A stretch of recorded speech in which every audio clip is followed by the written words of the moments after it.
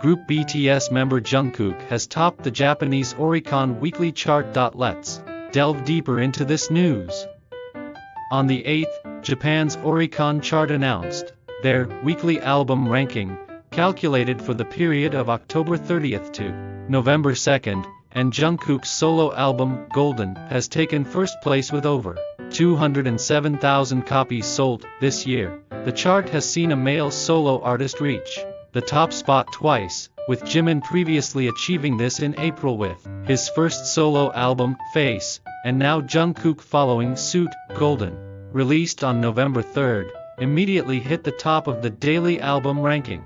With 205,961 copies sold, Jungkook has once again proven his immense popularity in Japan by dominating both Oricon's daily and weekly album rankings.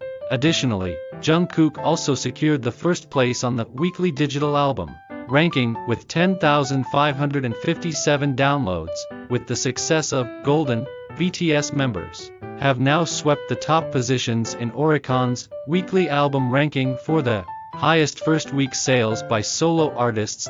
Jimin's Face holds the top spot, followed by V's solo album Layover released in September, which is in second place, and Jungkook's Golden has swiftly climbed to third. Furthermore, Jungkook's solo album Golden, released globally on November 3rd, became a double million seller within just 5 hours of its release, setting a new record for the highest first week sales by a Korean solo artist. That's all for today's news. If you liked this video, please hit the like button, subscribe, and set notifications. Thank you, goodbye.